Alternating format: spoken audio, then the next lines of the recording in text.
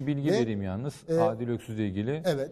Şimdi e, Ankara Cumhuriyet Başsavcımız Yüksel Kocaman Bey göndermiş. O yüzden Hmm. Adil Öksüz'ü ev hapsi adli kontrolüyle serbest bırakan hakimin kararına itiraz ettik.